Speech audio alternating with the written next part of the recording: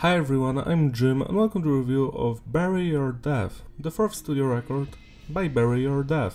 Today we're celebrating the 15th anniversary of the record, so I've decided to go back and see if it still holds up or not. My story with Bury Your Dead was already explained in my previous review. Their first record, You Had Me at Hello. I found them because a song from this record was similar to the song Chelsea Grin Last Breath and that was like in 2012 I think or 2014 so that's how long I've been listening to this band because I enjoy their music. We have a small lineup change here, almost everyone returns from the previous record except the band's vocalist Matt, he was replaced by Myke Terry who later went on to become the Volumes vocalist. So this is one of the two records with Myke on the vocals. Matt would later come back to the band in 2010 or 11 for the Mosh and Roll album. The production as usual was done by Jason Suecof, great guy, I love him. The production is tight, it's clean but heavy, no loudness war, no clipping, everything sounds just perfect. Message is diverse, songs are about various topics, mostly about personal struggles and relationship issues, also the loss of your loved ones. You should explore the lyrics on your own, as they are quite interesting.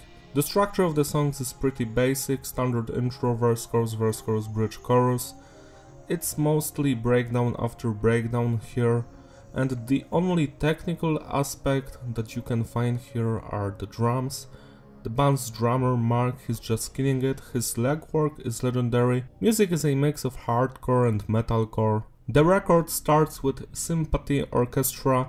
The first thing you're going to notice are the drums. They are just phenomenal throughout the record, easily the best part about this band. Next stuff are the guitars. They are actually quite nice and change from song to song when it comes to the ideas for the guitar riffs. So we can have some melodic stuff, but also some very crunchy, typical hardcore zero one riffs. The bass is audible and the bassist sometimes plays his own notes, so he doesn't follow the guitars, he's just doing his own thing. Sometimes even just the bass plays by itself, so it's a very nice addition I like when the bassists aren't just, you know, forgotten by the band. And the final thing are the vocals. So Myke has an amazing screaming voice and I enjoy his singing on this record as well. Matt is also an amazing vocalist and I enjoy his work, but it's nice that they found a solid replacement for him in Myke. This track has its all, the groove, the melodies in the chorus, it's interesting, I love the drumming. I guess I will try to stop talking about them, but they are just so good on every song. The guitar riffs here are amazing as well. The vocals in the chorus here remind me of that band Dagoba for some reason. Great stuff, 8 out of 10. Hands to hide the shame. Now this song is just as good. I enjoyed the main guitar riff the most. And yeah, the vocals are still great. Still a nice chorus, drumming as usual phenomenal, 8 out of 10. Fever Dream is the reason I know this band. The first 50 seconds of this track are just legendary. That riff is just perfect. It's so perfect that Chelsea Grin reused it in their song Last Breath. The rest of the song is phenomenal as well. I love the vocals, the groove, just everything. 10 out of 10. Womb Disease now this is probably the most interesting song on this record. There's a lot of just bass playing around here. The lyrics are amazing and I love the last 30 seconds of this song because the drummer just goes off. I have no words for it. You should listen to this one. It's amazing. 9 out of 10. Infidel's hymn is much more melodic than the previous song. I love the guitar work here, the lead work especially. Great stuff. The clean singing is nice as well. 8 out of 10. Year 1. Now this is an interesting song because it's very melodic, but at the beginning it's not, it's quite heavy. So it's surprising that Mark Tremonti is here. He's the guitarist of Alter Bridge and Creed. Do you remember Creed?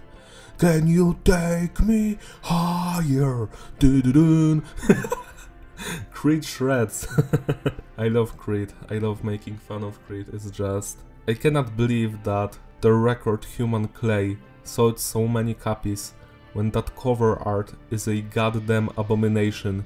It looks like an abortion. And Christians bought that record like 20 million times. it's, it's, those were different times back then. So yeah, Mark Tremonti is here, and don't get me wrong, I might not like Creed, but I love his work in Alter Bridge and his solo stuff. He's a very talented guitarist, and he provides a guitar solo here on this song, and it's epic, what can I say? This is a very cool song, a very unusual collaboration that actually works. 8 out of 10. Angel with a dirty face. Now this is probably my least favorite song on this record.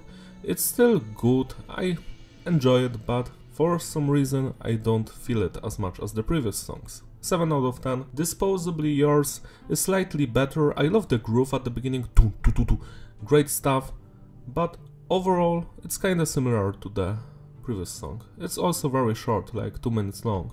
7 out of 10. A Devil's Ransom. Now here we're back to great interesting songs. The guitar riff is phenomenal, it stays in your head, vocals amazing as well, so is the drums. 9 out of 10. Fool's Gold is probably the most melodic song on this record. It kinda is a little bit cheesy in some parts, but I still enjoy it. It stays in your head, like I remember how it sounds like. Great. 8 out of 10. And the final song, Dust to Dust. This is my all-time favorite Bury Your Dead song. Because of the first 50 seconds. That groove, that guitar riff, just everything about that intro is perfect. Listen to those 50 seconds and try not to bounce around, try not to dance to this shit. It's epic. Try not to mosh while that stuff is happening.